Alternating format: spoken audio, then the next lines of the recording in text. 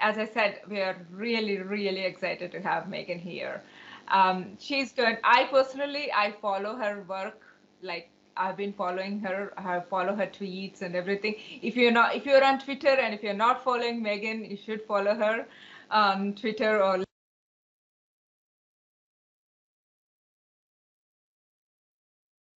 Hang on, Prathi, you've been muted. if you could unmute. I've been muted. Oh, I'm sure it was you, James. It definitely wasn't me, but you um, you have got quite a lot of feedback, uh, some buzzing going on on your mic. Um, oh, is it? Uh, but okay. It's all right. We'll we'll see if yeah, we can fix that for later. All right. Um, so yeah, um, so yeah, Meagan is an MVP and she does amazing data visualization stuff. So I, before, yeah, without me wasting any more time, today Meagan is going to talk about a practical application of storytelling techniques in Power BI. I am excited for the session and over to you, Meagan. Thank you. Let me get my screen shared.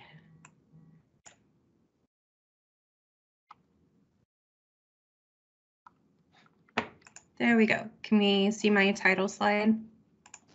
Yes. Yep.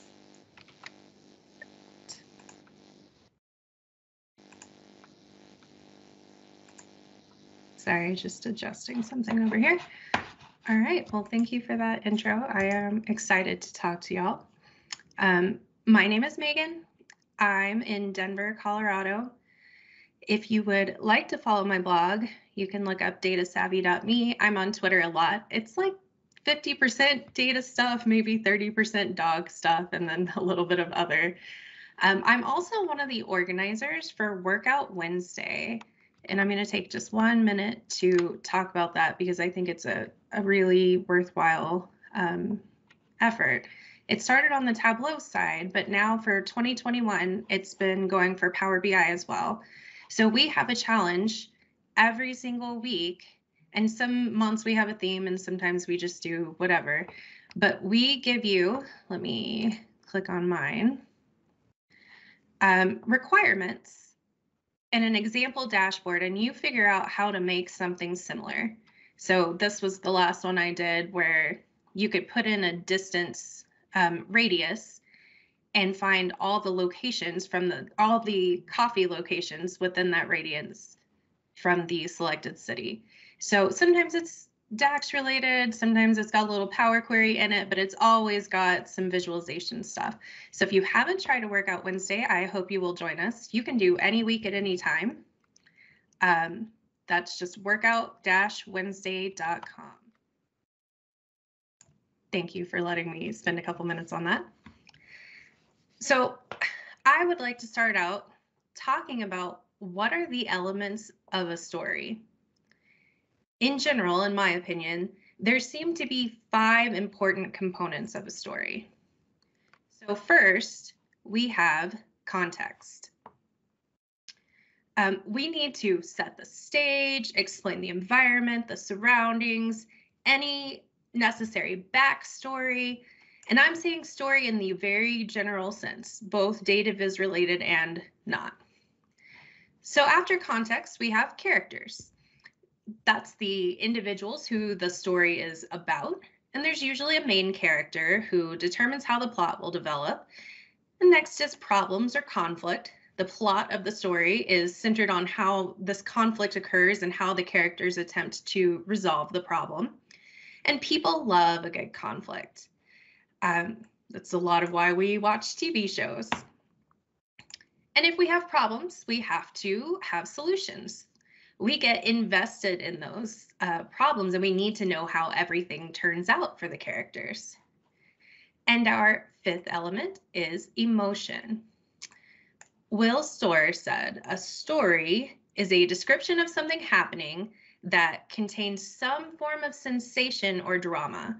It is, in other words, a an explanation of cause and effect that is soaked in emotion.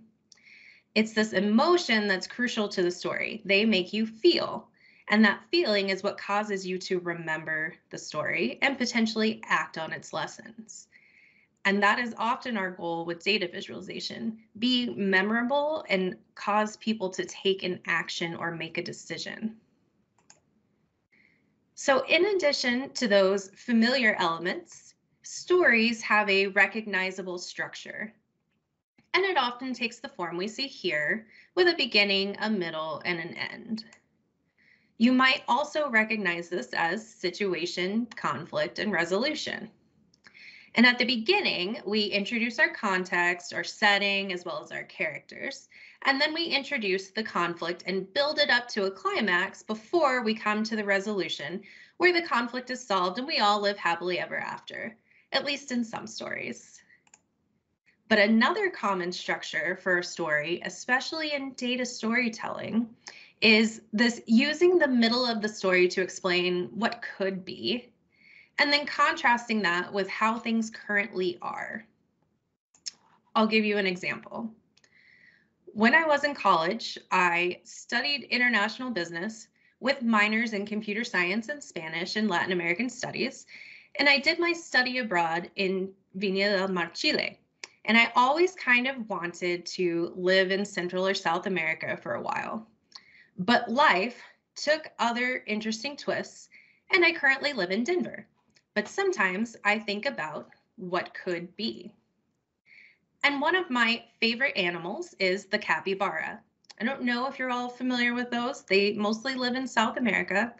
They are these large rodents related to guinea pigs and chinchillas, but they can be four feet long and two feet tall. But they're very social. And there's this whole subreddit for any of you Redditors out there called Critters on Capybaras, where you can see all kinds of animals hanging out with capybaras. So I dream of a farm in South America where I can raise capybaras, but right now I live in Denver and raise a cranky bulldog. I would live in a hut and enjoy being close to nature, but right now I own a townhome in Denver that requires cleaning and maintenance and a nice big mortgage payment. And capybaras are so chill and social, but life in Denver is full of stress and I barely know my neighbors. So as soon as we get through this pandemic, I should sell my house, move to South America, and start a capybara farm. And then I could live free of super expensive housing, spend more time outdoors, and be less stressed. And of course, just be friends with a capybara. So that's our story structure. We started with what's going on, um, my life in Denver, and then what if I could hang out with a capybara? You know, I've got a giant mortgage payment. I could live in a much simpler house and spend more time outside. So we have this here's what it could be. And then at the end, the here's what I should do is the call to action. So, storytelling is a big and, in my opinion, overused term when we talk about data visualization. But I want to talk about why we care so much. And the first and possibly most important thing is that stories have a logical structure. We present background and characters, conflict, and then a resolution. So you get the information you need and then move to the next step in the story. It's easy to follow. Every culture has stories. We're familiar with how they go. Young children can make up stories. And stories are also engaging. So we get wrapped up in a story because we love a good conflict and it's satisfying to see the resolution. That emotion that I mentioned earlier gets us all interested and engaged in that story. And it also makes it memorable. Um, there are probably some stories from your childhood that you still remember to this day.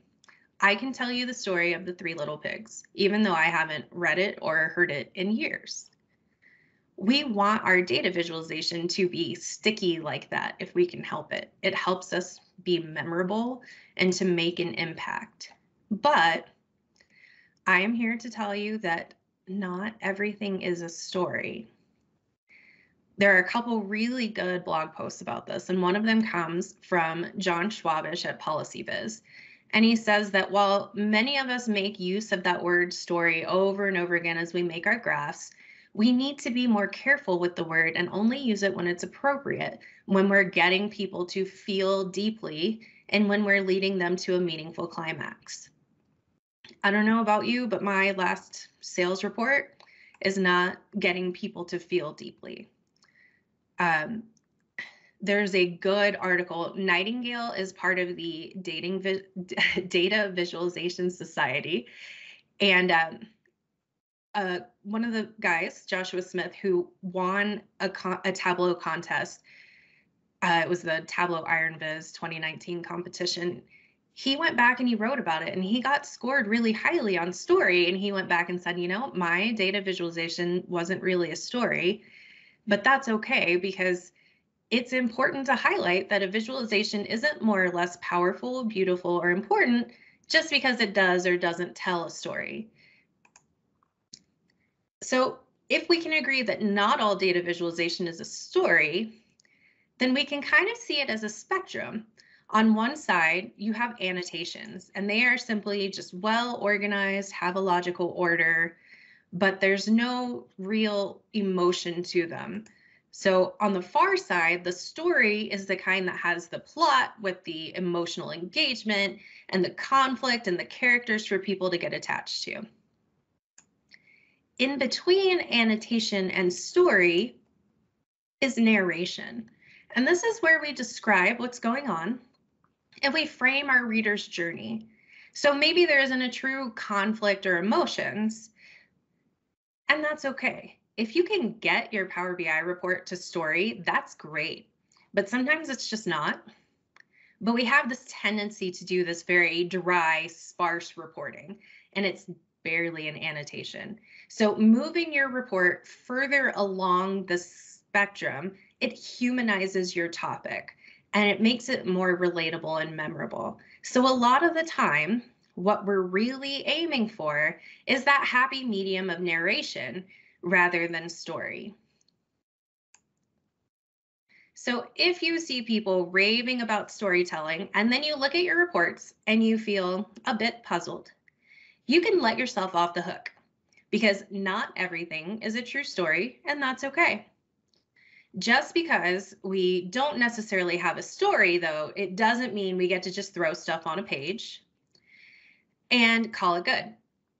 We need things to be organized in a purposeful way. Uh, a while back on Twitter, there was a hashtag called explain a film plot, plot badly. And one of them I think is a really good illustration of this. So it was Lord of the Rings.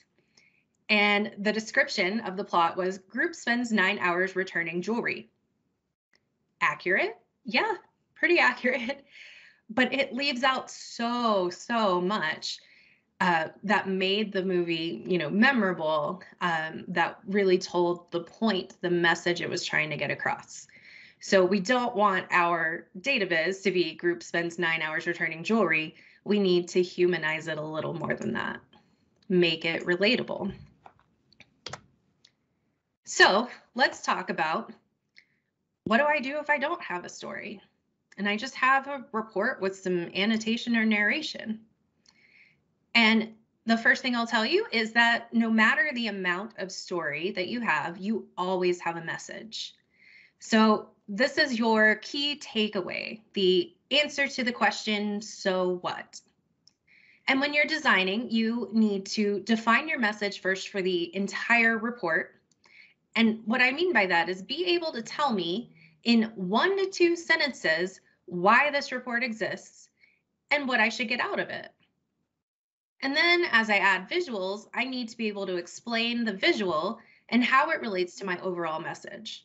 And if I can't explain how that visual relates to my report's message, maybe that visual doesn't belong in my report.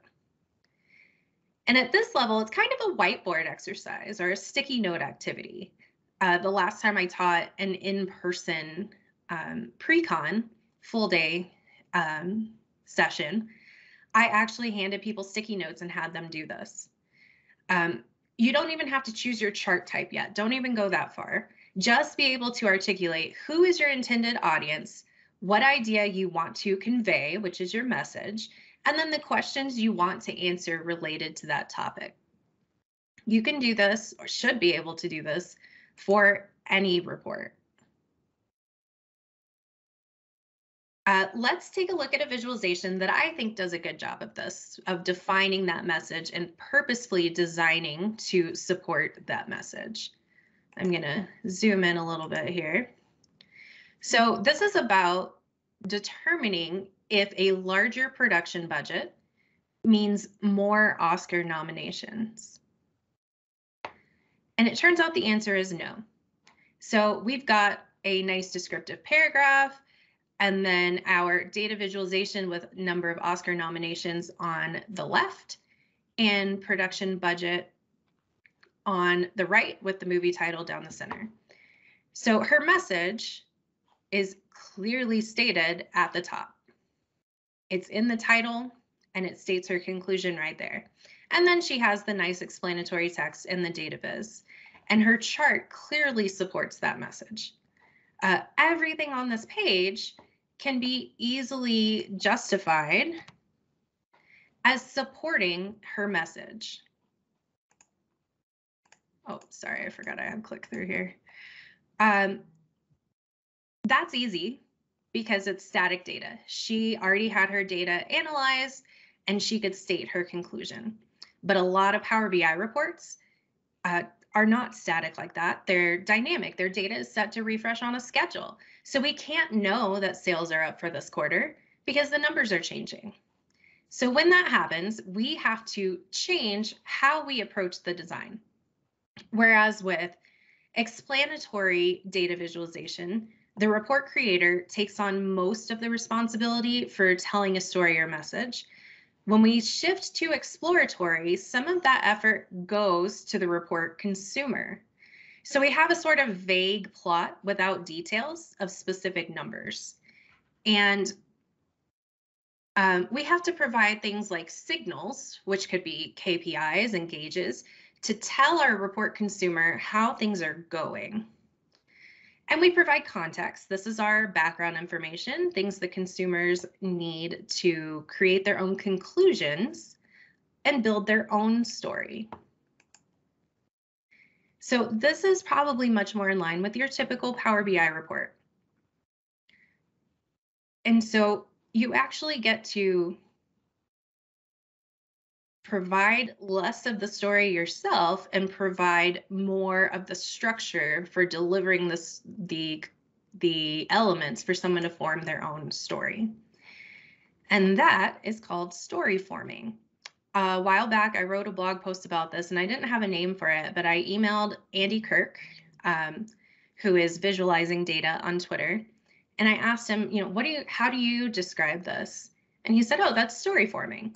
So basically, the change is just how you think about it. You don't know the answer to your question, but you do know the question you want to answer.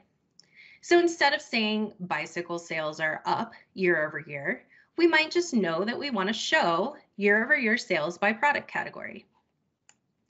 And even with dynamic data, we can still go for a bit of story.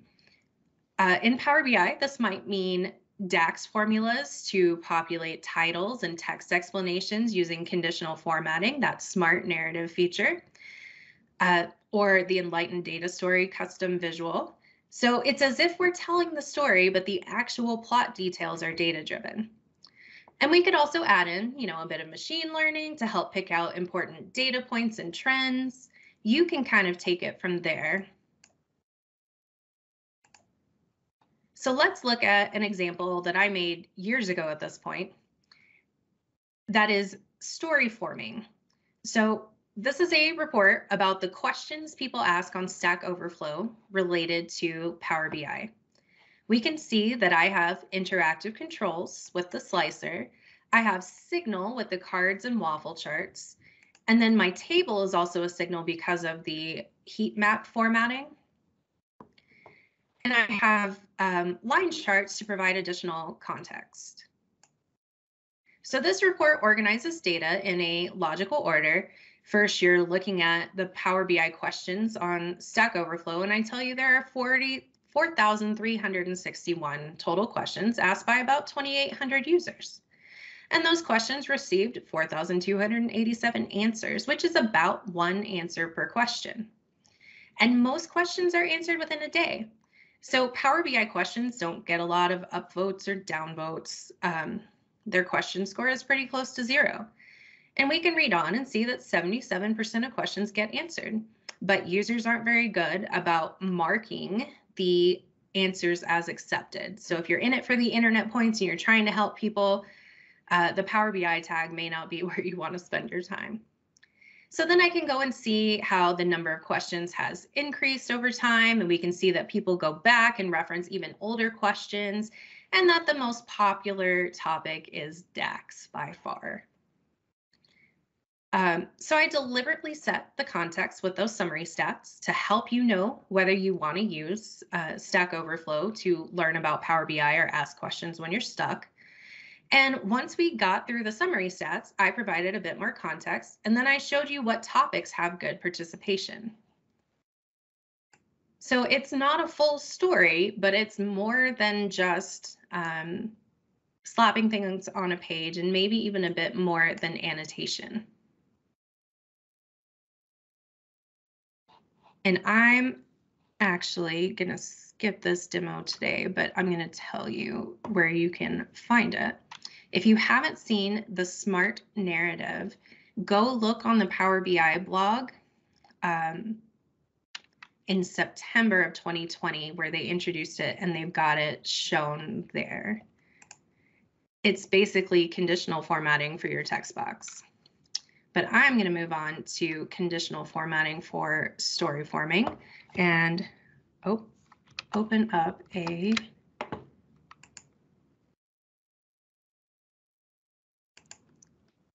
report, which I apparently just closed. My apologies.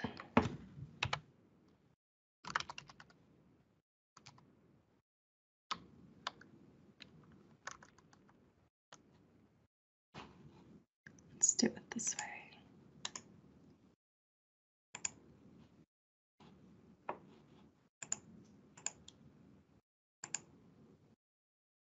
You'll see that report in a second.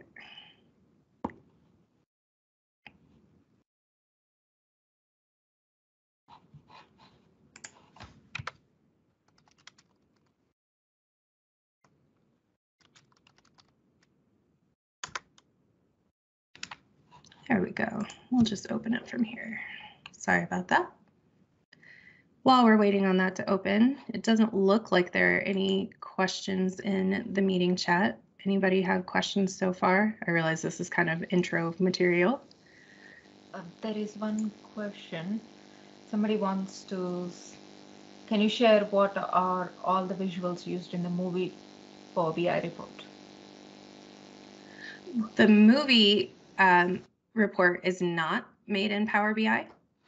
That was somebody, she's a freelancer that I met through the Data Visualization Society. All right, we've got this one open. And for some reason, I can't see that in the chat. So I'm going to ask you to help me out next time I pause. Um, this is a report, and I'll actually show you the original. This is a sample report that you used to be able to download in Power BI. I haven't checked lately, but it was kind of a mess. So I did a webinar with Rob Farley a while back, and we each kind of made our own interpretation of what we would rather see. So where they had new hires, they've got like new hires, actives year over year change, and then by region. I didn't feel feel like it was very focused and told a good story. And they had a whole other tab. Sorry, I'm going to stop clicking around in a second for separations. And it didn't feel like it was focused enough for me to follow kind of a logical order. So I remade it, but I did a couple of things.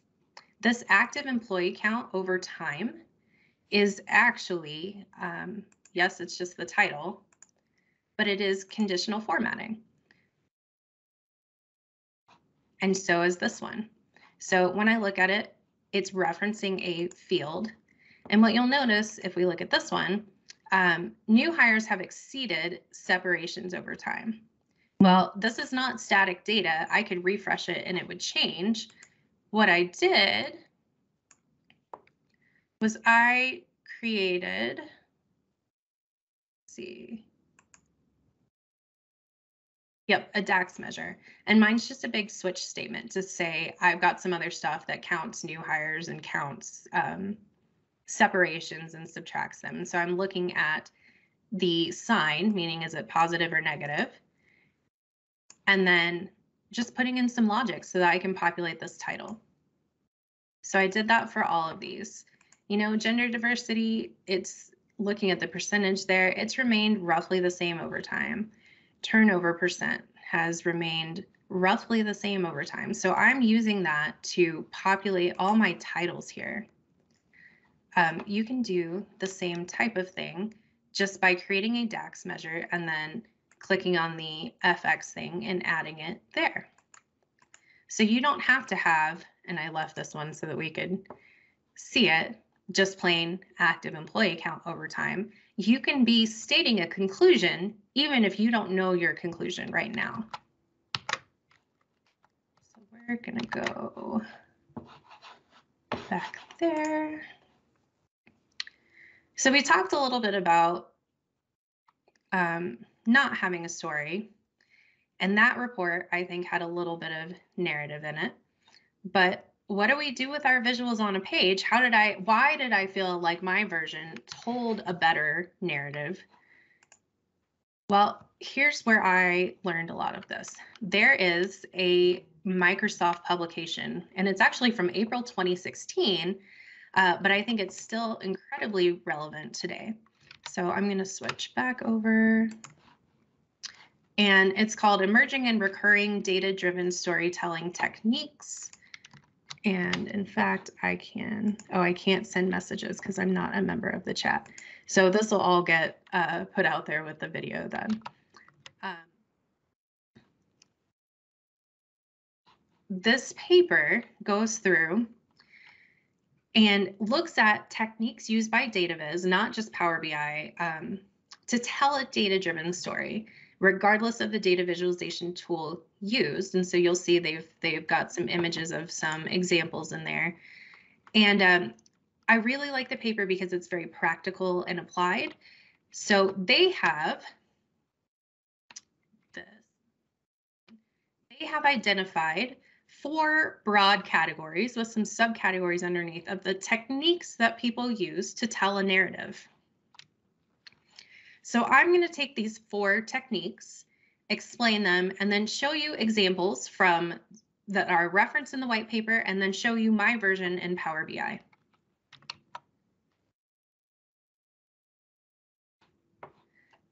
So the first technique is called communicating narrative and explaining data. And all it is, is you intersperse your charts with text or video or audio narration. So it's a lot like a news article. And here's the one that they that I have referenced in the slide. You see there's a bunch of text and then a chart. And then some more text and then a chart. More text and a chart. And that's all it is. Um, you can do this in lots of ways in Power BI. And so I'll show you my version, and that was the report that I had open earlier. I adopted a dog during the pandemic. Um, her name is Izzy. You may or may not have seen her lurking in the background. She may come back. She's gone back to take a nap now. And I knew she was some kind of bulldog. They just listed her as bulldog mix at the shelter. And I had an English bulldog um, just before her that passed away from cancer, and I was ready to get a new dog. So I saw her image on the animal shelter site, and I went to meet her and adopted her. And she is definitely part bulldog, but she has long legs. I don't know if you hang out with English bulldogs much, but they're kind of short. So she's got that kind of bulldoggy face, but a little bit of a longer snout than an average English bulldog. So I thought maybe she was a bulldog boxer mix. And I sent Izzy's DNA to Embark Vet. If you didn't know, you can get your dog's DNA tested to figure out what kind of dog it may be. Um, as well as check for some potential health issues. And to my surprise, Izzy came back as 100% Old English Bulldog. And I can kind of see the resemblance here. That looks a bit like her. So an Old English Bulldog, um, the original Old English Bulldog actually faded out a couple hundred years ago, but they've been bringing it back since the 1970s because the English Bulldog has been bred uh, in such a way that it causes a lot of health problems and they only live to be about 8 to 10 years old. So they're trying to breed the health and athleticism of what Bulldogs used to be back into the Bulldog today, but keep the super friendly temperament um, of an English Bulldog. So this is my report and you can see I have text. And in this case, the images are actually data visualization because it's telling you what she looks like, which is relevant to the story. And then more text and then images of the type of dogs I thought she were. So that is also data visualization. More text, data visualization, and then another data visualization. And I made this so that if I hover, you can see um, the breed foundation. So they're like half English Bulldog and then a mix of Bull Mastiff, American Pit Bull Terrier, and American Bulldog. But this is how I can see you doing this in, um, in Power BI. Just don't be afraid of putting more text on the page than you might normally. The second technique is called linking separated story elements. And you can do this through color, interactivity, animation, it's pretty easy to do with report themes and actions and buttons in Power BI. So I'll show you a, an example of how this was done in The Guardian. We'll make this a little bigger here. Um, this was talking about gay rights in the US, and it's a pretty old article, but I like how they did the interactivity through colors, so I still use it as an example. Um, here's and gay marriage is legal in the US in all states right now, although some of our states are not quite believing that still. But they organize this by state, by region of our country. So Northwest, Southwest. So here's Colorado. And each color represents an aspect of gay rights. Um, red is marriage, yellow is hospital visitation, blue is adoption, and so on. So you can see maybe in the Southeast, there are some rights that were not available. And if I go down, I'll notice those same colors used in this wheel are used down here. And they used the same um, region breakout with those same colors. So here's my hospital visitation rights, and here's what it means. I can hover over each one. And so that's how they linked it was through color.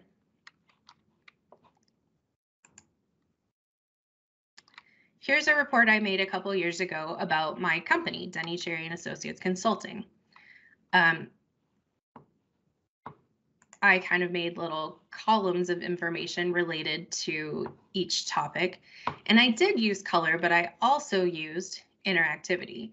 So if I wanted to see some fun facts about my team, I could just click through, but I did maintain the color theme for each topic. So if I click on experience and education, you know, I keep the blue and now I can see how long people have worked with SQL Server, Azure, Power BI, and so on. And I actually have a little guessing game in there. Um, but again, you can see, you can just click through and I keep the color.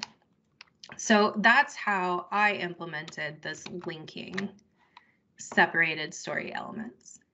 It doesn't always have to be on the same page like that article. It could be on different pages. It could be on the same page. It doesn't really matter. You just keep one element the same that people will keep in their head um, as as matching the category that you're that you're relating across visuals. So uh, the third technique is enhancing structure and navigation. So this is the you know previous next buttons, scrolly telling, breadcrumbs, menu selections, anything like that.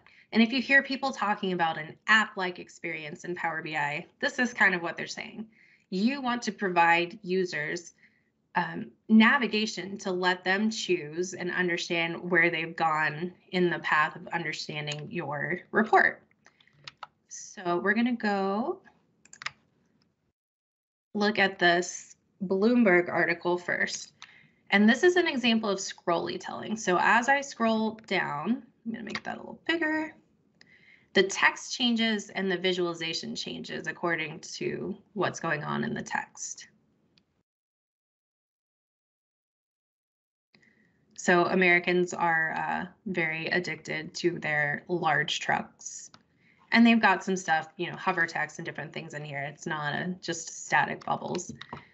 But that's how they implemented the structure and navigation as you scroll down and you can choose how fast you want to go uh, where you want to scroll to. You can do this in power bi really simply or you can go all out. So i'm going to show you just the simple version. Um, my city denver i feel like is bad about traffic accidents but I pulled the data for this in 2019 and it turns out you would think it's because it's very snowy here in the winter. Um, you would think it's because it's wintertime, you know, bad weather. But it turns out that accidents don't happen most during bad weather. Um, they happen on Fridays and they happen in the spring and the autumn more than winter. So it's kind of um, telling you, you know, a different story than what you might expect. They happen on dry roads in daylight in the afternoons on busy streets. So I kind of introduce this topic here and I start you out on analysis by time. And then you can click and go to location. And so then I tell you about which locations tend to have um, the most accidents in Denver. And I have a little thing to let you choose maybe I want to look at Capitol Hill. And there's a lot of stuff going on in there. And so once I get done with that, I have driving conditions. What kind of conditions on the road and the environment happen um, to cause are, are present when accidents occur? And we can see again, it's daylight, it's dry, it's on a level street. It's mostly because people are following too closely and driving carelessly. They're on their phones, whatever. Um, my car, my last car got totaled because somebody ran into the back of it going 60 miles an hour. So, as an anecdote, my uh, experience matches what this data says too. But all I did to do this was add buttons and some formatting so that you would know which um, page you are on and this could be done with page navigation or it could be done by switching out, you know, just the visuals, doing one page with visibility changing to show what's in here. There are performance implications to both, just explaining that you can go either or. But this is our enhanced navigation. And that's really, you know, the simplest version. I have seen scrolly telling reports in Power BI I think they are very difficult to do because everything loads on one page and uh, that can cause like a 20 second load time when you're very first interacting with it. But I've seen someone, um, if you go look in the data stories gallery, that had a few that the uh, performance was actually okay. So scrolly telling is just that scrolling down. Um, providing controlled exploration is our last technique. So we have dynamic queries that allow users to make selections. This is our ad hoc exploration. Um, usually we try to constrain it. You don't just let someone go crazy and go, here's your data model, put whatever you want on there. It's more of a let me make a few choices within a report. And sometimes that is all they provide, or sometimes there's a a long report and then a separate exploratory piece. And we actually saw one of those on the Bloomberg graphics. So when you get to the bottom, you get to choose what you want to see. So I could do that. I drive a Mazda CX-5. I could look for my car. You know, whatever you want to do here, that's kind of the controlled exploration because I can only change group by, color by, and what car I want to look at. Another example of that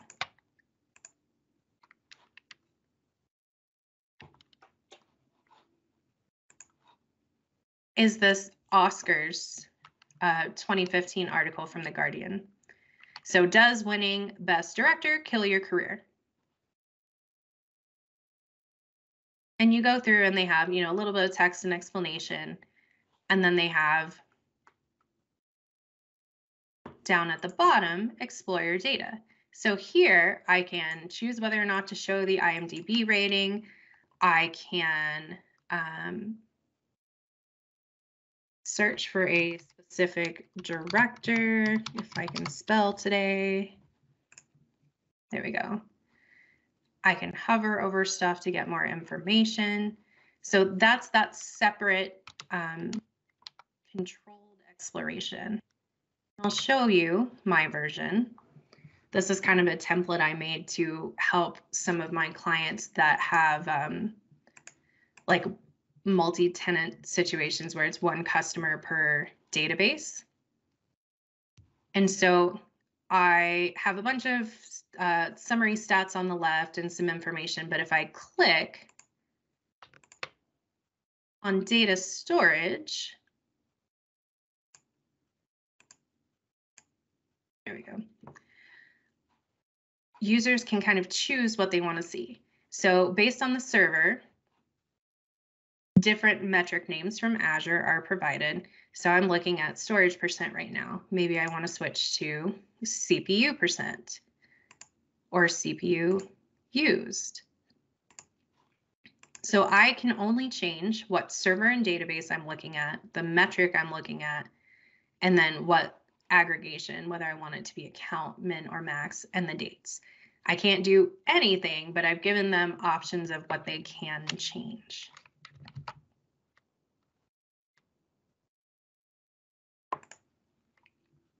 All right, we're coming to the end. So those were our four categories of applied storytelling.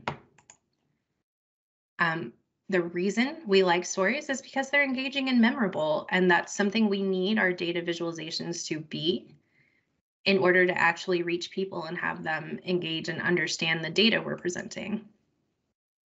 Not everything is a story, and that's okay.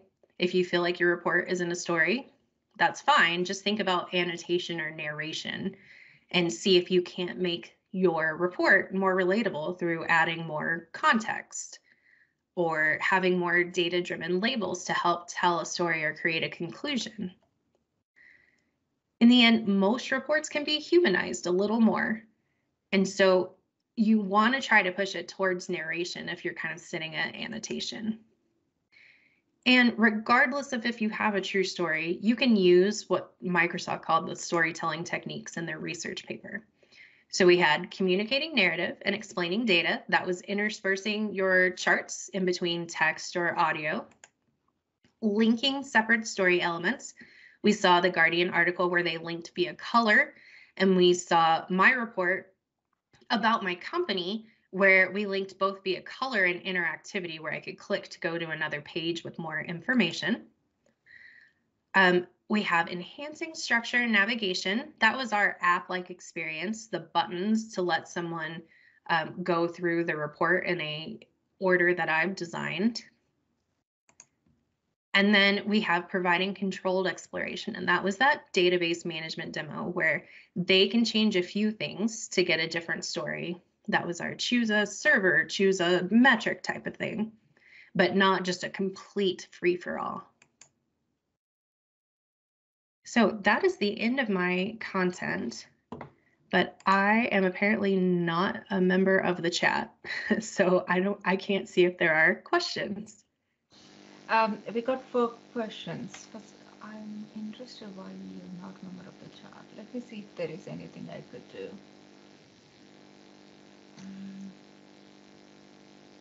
James is there. So Yeah, I can. I am here. I can. Well, we can read them out for you, I guess, Meagan. Prathy, your microphone is still very buzzy. okay, you do it. Okay. Um, Prathy summarised them in the chat, so I'm going to uh, grab those ones. So, um, I think we've answered the first one, which was the name of the visual in the marriage report. Was that the one that wasn't a Power BI report? Correct. So the next one is Aziz's after um, if you're able to share a link to some of the Power BI reports that you've been um, demoing. Yep. Um, my slides are actually on my website too. And so if you want any of that, you can go to Data Savvy. Ah, brilliant. And um, Vincent, thank you for that, for pasting the link up in the chat for everybody. Yes, thank you. Great. Um, next question then is um, on your um, Denver accidents report, you used a waffle chart, um, Mhm. which, which uh, I guess it's a custom visual. Which, which waffle chart custom visual did you use? Yeah, that one in the bottom left. Yeah. That is just waffle chart. Waffle chart. awesome. Um, we'll see if we can dig that out and uh, find a link to put in the chat window. There is a, um, I don't know if it's the same one, but there was a waffle chart released many moons ago. Let me see if it's still there. Yeah, that one is very old.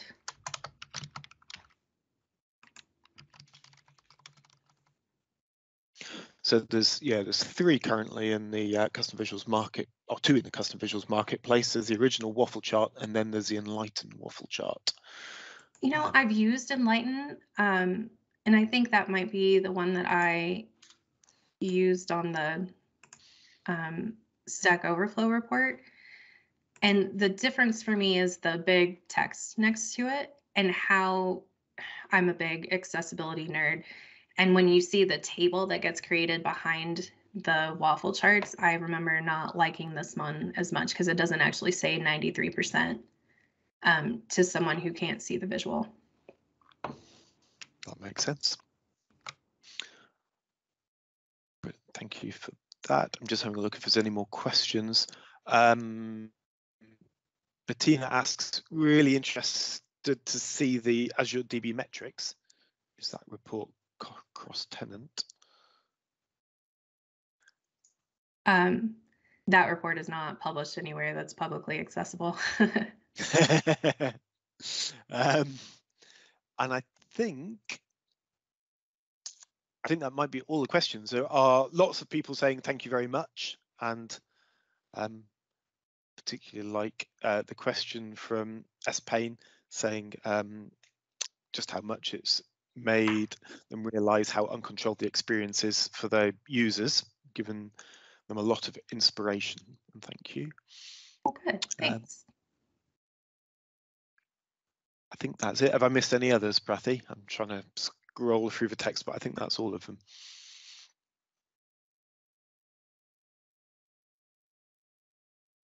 No, that's all. I'm trying not to go on mic. yes.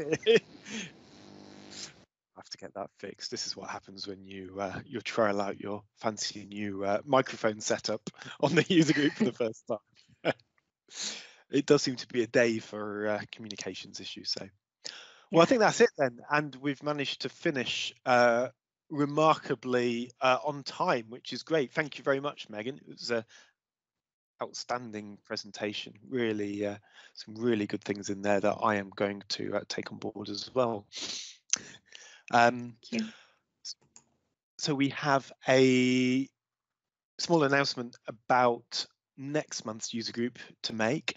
So next month, which will be December's user group, will take place on the 7th of December, but it's not going to be a virtual online one. We're going to have a pause for that for December. And instead, um, for those of you based in uh, the UK and particularly the Southeast, I hope this is quite exciting. We are going to be doing a in-person user group uh, in London, the first one since February 2020. Um, we're really grateful to our sponsors, Nigel Frank, who have uh, enabled us to uh, go back and use their office space in central London again. So we will be hosting it back in our old uh, old venue of the Nigel Frank offices um, in the City of London. Uh, it will we will confirm all the details, but it will be on the 7th of December with Brian Maffer, who will be talking through his new Power BI uh, version control solution that uh, was announced a week or two ago. Um, I don't think I've missed anything there. Obviously, all of the details for that will be posted um, on our social media. And let me just very quickly share the link for those. Um, let me share my screen quickly so you can get those.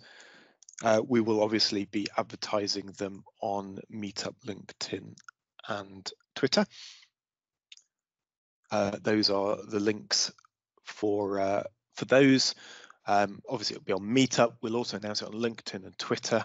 And the video from uh, Meagan's session today will be posted up on our YouTube site. Uh, as I mentioned in the chat, I don't know if you saw earlier, I'm a little bit behind on posting the videos up. Hopefully, uh, over the next couple of weeks, I'll get back. I think we're missing about four, so I will I will get all of those posted up.